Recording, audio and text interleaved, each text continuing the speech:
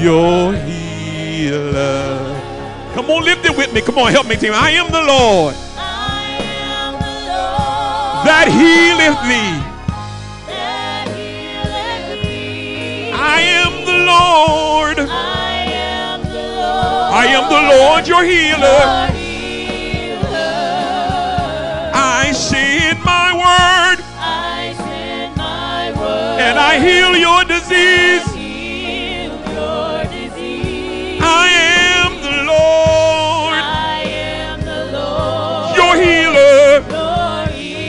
on, just one more time. Bask in his presence. I am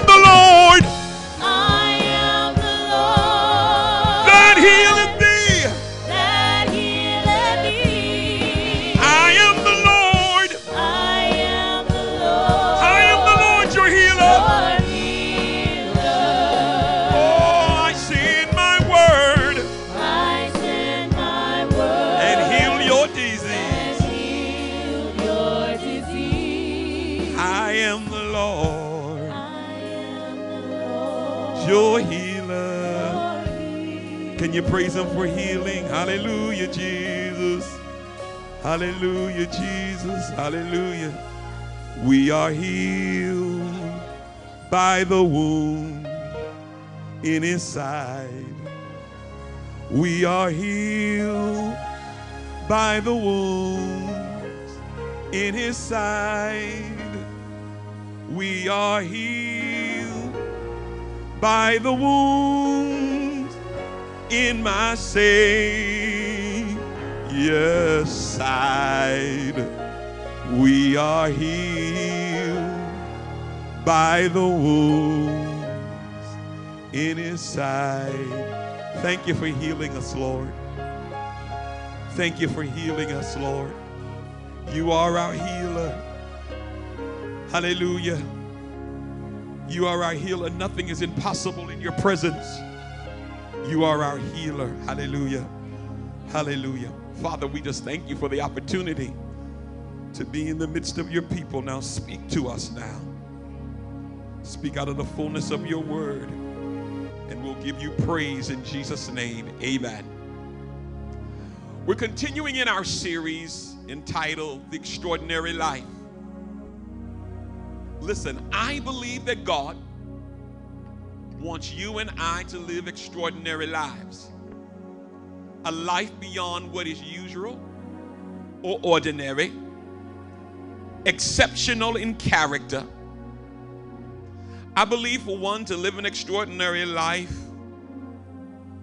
one must, number one, embrace the truth of who God says we are. We must know our identity in the kingdom. Number two, experience the close proximity the Father desires with us, intimacy.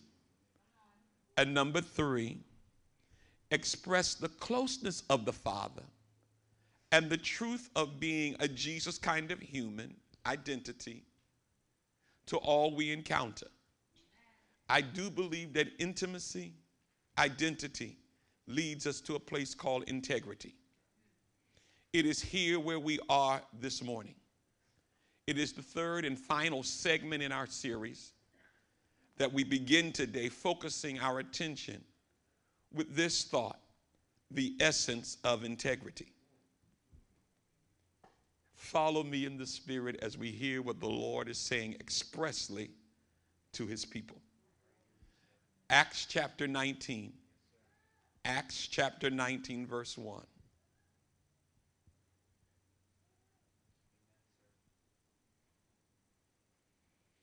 These are the days where you can't turn it off. So the Lord says, do not try. Frequencies are high because there are many lower sound waves that's bringing weariness and frustration to the people of God. So he calls the prophetic to rise above the frequency of the weary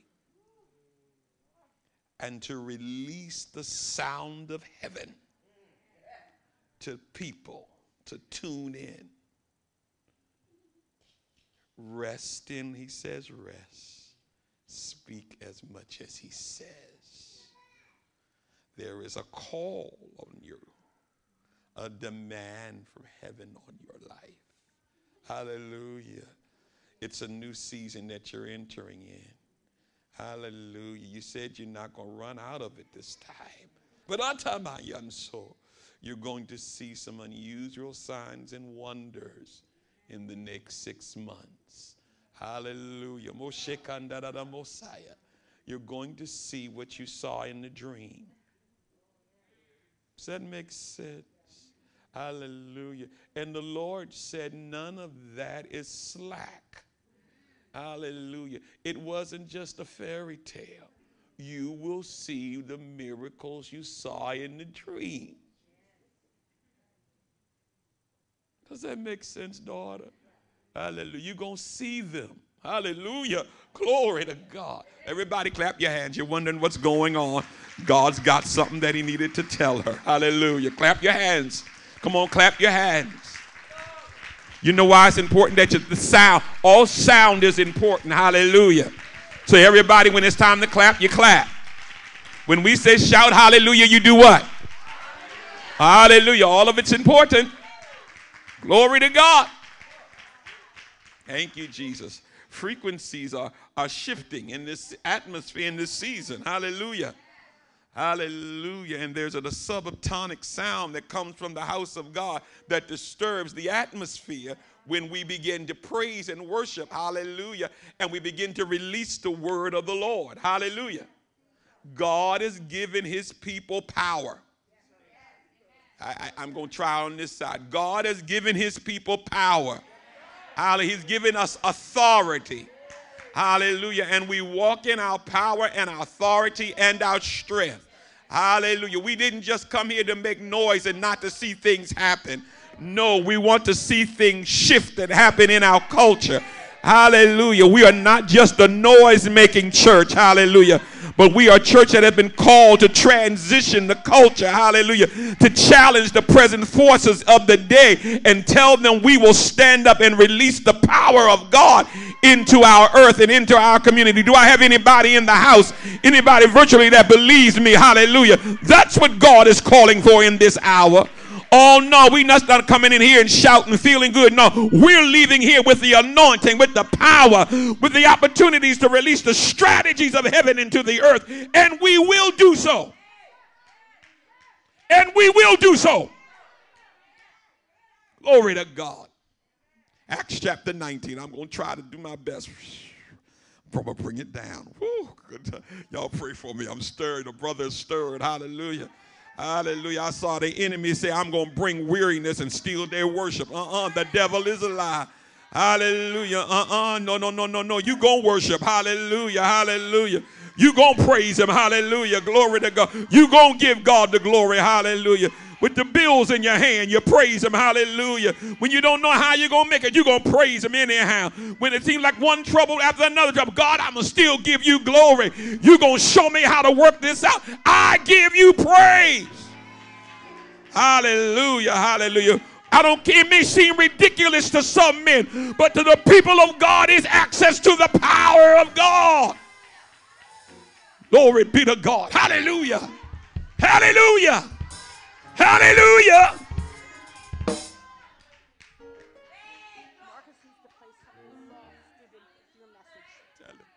Hallelujah. Shabaya Kumbadaya. Thank you, Jesus. Acts chapter 19, verses 1 through 7. Hallelujah. Hallelujah. Hallelujah. Oh, the anointing of God. I feel you, God. Hallelujah. Stir it up, Lord. Stir it up, Lord. Hallelujah. Hallelujah. This is what it sounds like. This is the sound. Hallelujah. Hallelujah. Stir it up, Lord. Hallelujah. Come on, Jesus. Hallelujah. Come on, Jesus. Hallelujah. Come on, Zion. Hallelujah. You know how to praise Him. Stir it up. Hallelujah. Let the anointing be stirred in the room. Oh. Oh. Oh, oh, oh, hallelujah. Jesus, hallelujah. Glory. Hallelujah. Yeah. Thank you, Jesus. Hallelujah. Acts chapter 19. Let's see. And it happened while Apollos was at Corinth that Paul, having passed through the upper regions, came to Ephesus.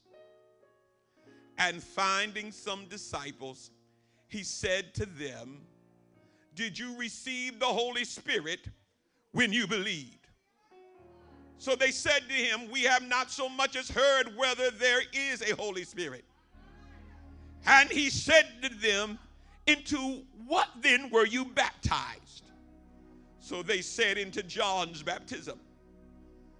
Then Paul said, John indeed baptized with a baptism of repentance, saying to the people that they should believe on him who would come after him, that is, on Christ Jesus. And when they heard this, they were baptized in the name of the Lord Jesus. And when Paul had laid hands on them, the Holy Spirit came upon them. They spoke with tongues and prophesied. Now the men were about 12 in all. Shall we pray, Lord, open our eyes, our ears, our hearts. Let us be led by your Spirit. Let us hear what the Spirit is saying to the church. And all the people said, Amen. The essence of integrity. I believe the essence of integrity for the believer is a life that is filled and overflowing with the Holy Spirit. I believe the essence of integrity for the believer is a life that is filled and overflowing with the Holy Spirit. The essence of something is the basic, real, and invariable nature of a thing with significant individual features or feature. It is the natural, true substance or constitution of anything. Integrity is the state of being, whole, entire, or undiminished. A soundness of moral character and honesty. He, the Holy Spirit, is a divine person. He is fully God. Everything that God does, Helen, the Holy Spirit does. There is only one God who has eternally existed in three persons Father, Son, and Holy Spirit. Each of them fully equal in divine essence. The Holy Spirit is a person, He is a divine person. He is the indwelling divine person. He is the indwelling divine person whose primary purpose is to make Jesus known to us. Amen. Bishop Monroe Saunders Jr., in his writing Transformational Thoughts, helps us to understand the work of the Holy Spirit in the life of the believer. He says the work of the Holy Spirit within a person's life brings about transformation. Individuals are not capable of transforming themselves. Self produced transformation is more of a personal makeover, which addresses issues of outer conformity rather than issues of inward spiritual metamorphosis. Spiritual transformation occurs through personal pursuit in the presence of the Holy Spirit and a continuous yielding of the mind of God exposed within that presence. Personal sacrifice pre- precedes mind renewal. The surrendered life positions and aligns itself for transcendent engagement. In other words, it orients the mind for absorption of divine thought. The transformed life is the life that has sacrificed itself so that it may comprehend the thoughts and energy that flow from the mind of God. Now thanks be unto God. Second Corinthians chapter 2 verse 14 says, "Now thanks be unto God which always causes us to triumph in Christ. Through us diffuses the fragrance of his knowledge in every place. For we are to God the fragrance of Christ among those who are being saved and among those who are perishing. God working through us is a powerful thought. To consider that we are in, inhibited by the sacred essence of the Holy One puts our lives into unique perspective and establishes for us a foundation of contextualizing the whole of life. When we live with a consciousness of actions, a consciousness of the sacred within us, we allow the sacred to inform and direct our actions. We release a sacred essence into the atmosphere and sanctify the environment through our presence. We, therefore, become living evidence of the invisible life force of the Holy Spirit. You are a living, breathing representative of the Holy Spirit. Allow that Spirit to work in you, to flow from you into the lives of those you meet. We bear the essence of the Holy One. We are the fragrance of Christ in the earth. The essence of integrity, the crust of a Jesus kind of human, the emergence to one's optimal place is the power of the Holy Spirit igniting, infusing, interceding through us, and inspiring us to be. Allowing ourselves to be placed on the showroom floor of life, displaying His workmanship, His masterpiece, His creational design. We are Christ, Christ in us the hope of glory being manifested to the earth. God does great things through people who are empowered by the Holy Spirit. I'm going to say that again. God does great things through people who are empowered by the Holy Spirit. And I know three fourths of the church united around the world and saying, Yes, amen. I'm saved. I have the Holy Spirit. Yes, praise God. The Spirit of God is in me. Hallelujah. My question is not that you have the Holy Spirit, but does the Holy Spirit have you? You got the Holy Spirit, but does the Holy Spirit have you? The church in America today is filled with people who have the Holy Spirit, but does he have them? We are dealing with weak worship. Weaning witnesses, unwilling workers, spirit of casualness we need the Holy Ghost. There is a difference between having the Spirit and being filled with the Spirit. Many people in the church have the Spirit, but they are not filled with the Spirit.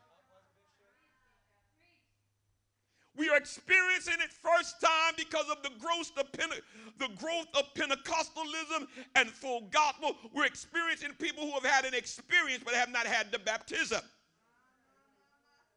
So they have crept into our midst and have allowed a spirit that says it looks like, it sounds like, it acts like, but it does not have the real thing. I know I'm going to get in trouble, but I don't give a hoot. Hallelujah. It's too late in the hour for me to care now. Hallelujah. We need the power of the Holy Ghost. And we need the real deal. Amen, church. There is a difference between having the Spirit and being filled with the Spirit. In John 4 and 14, Jesus said these words John 4 and 14. The water that I shall give him shall be in him a well of water springing up into everlasting life. Amen. Jesus had to be in me before he could spring up in me. I couldn't get the Holy Ghost to spring up in my life if he wasn't in my life. Amen. Now, John 7 and 37. John 7 and 37. Jesus also said, If any man thirst, let him come unto me and drink. He that believeth on me, as the scripture has said, out of his belly shall flow rivers of living water. But this spake he of the Spirit, which they that believed on him should receive. For the Holy Ghost was not yet given because that Jesus was not yet glorified. Now, on that day, we understand has passed. The Holy Spirit has been given. And it's time for the living water to flow through us. Amen. Not just be in us, conversion, but the river must flow through us, baptism. Amen. We may be living in a time of uncertainty and a time of distraction and confusion. But God is inviting his people beyond space and time into the secret strategy rooms of heaven. He wants to release to you the blueprints of his heart so that you can begin to release and conquer every impossible thing through him. He's inviting you, ma'am, he's inviting you, sir, to be consecrated, set apart, holy, and sanctified. So that when you step into an atmosphere that is filled with the plans of the enemy, you can immediately discern those plans and destroy them in the spirit. God is calling his church now to arise and take authority in the earth. Do not ignore the stirring in the spirit. This is why you and I must walk in the spirit. We must live in the spirit. This is the day that the pew must be just as powerful as the pulpit. You can no longer wait on your man or woman of God just to give you a word to lay hands on you. But you've got to stir up the Holy Ghost that's on the inside of you. You've got to pray with authority. You've got to cast the devil out of your children. You've got to bind the spirit that is in your home and bring freedom and liberty. God releases the anointing on you to act as his force in the earth. You don't need bishop to do it. You don't need to call Elder Tanya to do it. But shake yourself and realize that you are a child of God. You are a blood washed, anointed child of God. You've got the power to destroy the yokes of the enemy and walk in strength, and nothing can defeat you. You, sister, you, brother, God has called and he releases the anointing on you. We must allow the Holy Spirit to empower us so we can make Jesus known to the world. Throughout the scripture, we see example upon example of the Holy Spirit working through ordinary individuals, causing them to do extraordinary things, manifesting his power. Abraham and Sarah having a child past the normal biological age, his power. Moses doing signs and wonders in Egypt so that God's power may demonstrate it to the world. Elijah calling down fire from heaven to demonstrate the Lord is the true God. Jesus told his disciples that they would receive power to be his witnesses in Acts chapter 1, verse 8. This power was primarily centered on the ability to be a witness to the resurrection of Christ. The biblical narratives after Acts chapter 1, verse 8 show the primary reason for the power was so that the apostles would demonstrate the word by healing the sick and performing miracles, causing men and women, boys and girls to see the powerfulness of our God. Acts chapter 5 connects extraordinary signs and wonders to God. This added multitudes of believers to the Lord. In Acts chapter 8, we see how Philip was able to turn the whole city of Samaria to the Lord by moving in the power of signs, wonders, and miracles. Paul the apostle also utilizes this method of evangelism, saying that the Lord bore witnesses to the word of his grace by granting signs and wonders to be done by the hands of Paul and Barnabas. Acts chapter 19, it says that God did extraordinary miracles by the hand of Paul while he was ministering in the city of Ephesus. Later on in Acts chapter 28, Paul was able to bring the gospel to the whole island of Malta. In 1 Corinthians chapter 2, Paul said that when he preached the word, there was always a demonstration of the Holy Spirit and the power so that their faith would not rest on the wisdom or the rhetoric of men, but on the power of God. The supernatural move of the Holy Spirit is coming again upon the church like never before.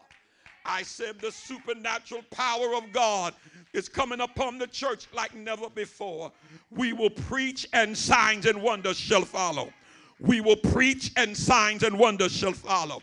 We will preach and signs and wonders shall follow. We will preach and signs and wonders shall follow. The church became a sign to the powers in the first century.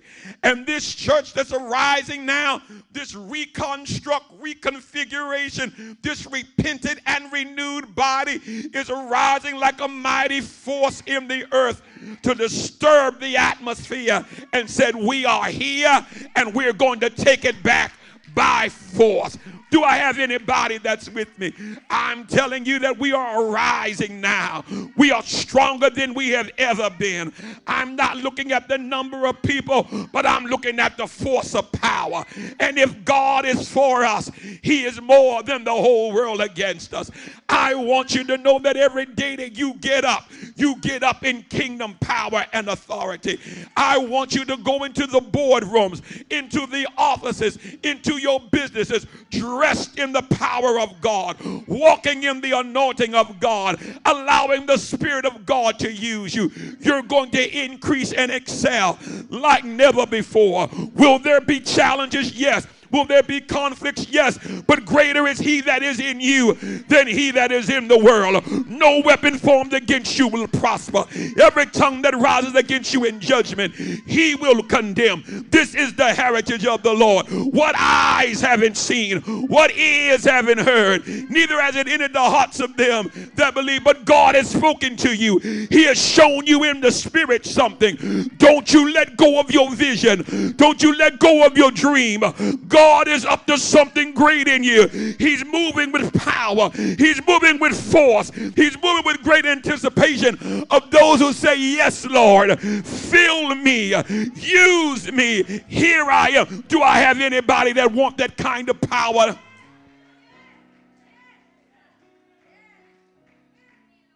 Somebody say, Use me, Lord. Say, Do it in me, Lord. Hallelujah. Hallelujah. Hallelujah. Right there. That's good. Hallelujah. Thank you, Marcus. Hallelujah. God's going to do it in you. Hallelujah. Hallelujah. I, I, haven't been able to shake this thing off of me. Hallelujah. Because God is saying, Sterling, I want an empowered church to arise in this hour. God spoke to me on, on, on this past Thursday, hallelujah, about what he Wednesday, about what he wanted to do in this region. And God's going to do it by empowered believers that will rise up and move under the anointing of the Holy Ghost. I believe we are a church that's ready. I believe we are a church that's ready to move with power. I'm not just talking it, I'm believing it. Hallelujah. You see, true renewal in our cities, in our region, will never come by mere activism and politics. We need the power of the Holy Ghost for systemic change. A thorough examination of Acts shows us that the church was able to bless communities and spread the word with a demonstration of supernatural power that accompanied the preaching of the gospel. The preaching of the gospel is understanding the power and the life and the resurrection of Jesus Christ. If Jesus and the apostles demonstrated the reality of the gospel with healing signs and wonders and supernatural work, how much more does the contemporary church need that same power to proclaim the good news? I want you to know I bless God for all the advancement of technologies. I, I, in technology, in media. I bless God for the seven mountains that He's given us to take authority in. But the thing that causes us to have success because the doorway is open will be the power of the Holy Ghost. It will be those who walk in the anointing of the Spirit. Come, Lord Jesus, revive your church. Come, Lord Jesus, revive your church once again. I pray now for every person under the sound of my voice that the Spirit of the Lord God be upon you because He's anointing you to preach good tidings to the poor. He's sending you to heal the brokenhearted, to proclaim liberty to the captives, to open prison doors for those that are bound, to proclaim the acceptable year of the Lord, to comfort those who mourn I pray that he gives you the oil of joy for mourning, beauty for ashes, the garment of praise for the spirit of heaviness. That you will be trees of righteousness, the planting of the Lord. That you will begin to be builders of restoring the ruined places and build up the places that God is calling, that you would walk in the anointing, that every gift, every dream, every vision be activated in your spirit now you are not too old. You are not too feeble. You are not too broke. You are just right for the anointing of God to flow through you in this hour. May He visit you. Hallelujah. And direct you now strategies be released from heaven into your life now. Every man, woman, boy, and girl under the sound of my voice, God release your strategies from heaven. Pour in the oil and the wine, that which restores and renew, that they may be released to do the work you've assigned their hands to do. If you believe it, it's a great place to give him a great praise.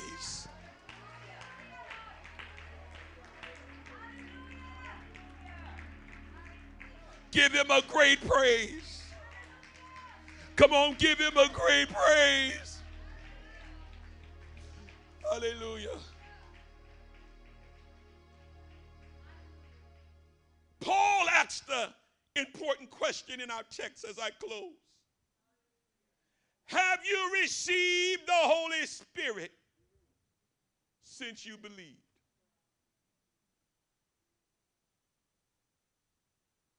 Have you received the Holy Spirit since you believed? Received and believed. Lord, let me receive what I believe. Lord, let me receive what I believe. There is a differential between believing and receiving. That we can be a believer in Jesus Christ yet not receive the baptism of the Holy Spirit. When Paul found out the state of these men who believed, they were believers, they were followers of Jesus Christ, but they had not received the fullness he immediately baptized them and prayed for them to receive the Holy Spirit. My prayer is that every believer in Kingdom Life Cathedral Ministry, every citizen, receive the baptism of the Holy Spirit in its fullness. That you just won't be one who believes, but that you'll receive and walk in the fullness of the Spirit. Hallelujah. Hallelujah. Hallelujah. There is so much more that God has for you, my brothers and sisters. God is pouring out on his people, Mom Stella. It is the time to get into the outpouring by connecting with others who are following the leading of the Holy Spirit. As the Lord said, you cannot contain what I'm releasing, but I want you to begin to move in the overflow of my spirit. It is time that you begin to flow in the spirit. Will you lift up your hands one more time? Hallelujah.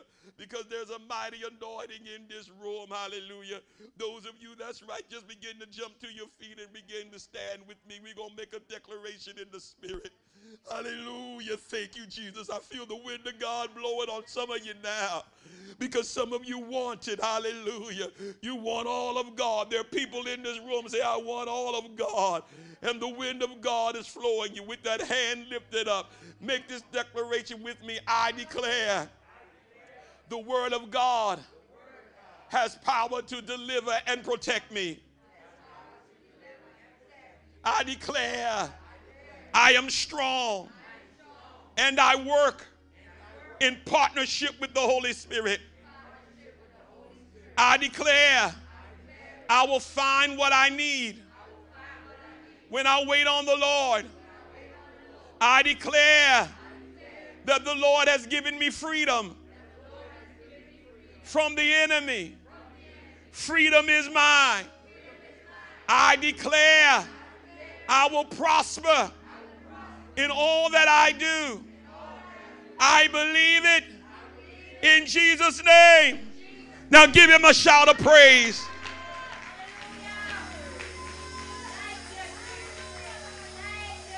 Come on, praise him right there. Hallelujah.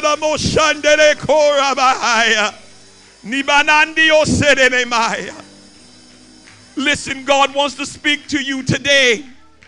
Some of you in the coming weeks will begin to have dreams and visions and clearness of thought. This coming to you in this season like never before. He wants to speak to you and show you things that will amaze you. He wants to take you to a new place. He wants to simply to allow the Holy Spirit to rise within. This is the time where you must understand that you must walk in an overcoming spirit. The essence of integrity is being filled with the Spirit and to have an overcoming testimony. To overcome means to conquer, to, to, to subdue, to, to surmount, to get better. There are many conflicts ahead.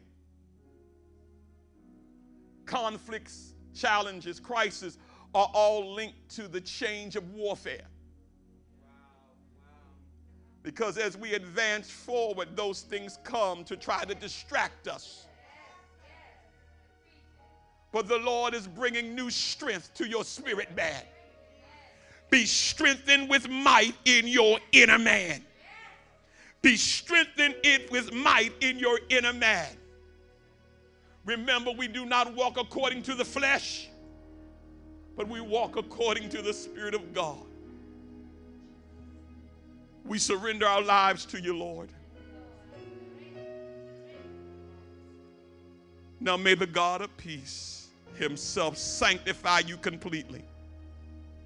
And may your whole spirit, soul, and body be preserved blameless at the coming of the Lord. Be filled with the Spirit it will give you the boldness to be all that God's called you to be. My final remark is that many of you will begin to be a witness to your families. Speak the word of God boldly to them. Amen. Do not hide your faith. behind your familiarity of family, but be bold among them. For God wants to do a miracle in your family. Hallelujah. It starts in the families, and it will move from your families into the community. Hallelujah. God is up to something great, and I'm excited about what He's up to. How about you? Come on, put those hands together and give the Lord praise. Hallelujah. You may be seated in His presence. Pastor Eric is coming, and then I'll come back with some final remarks.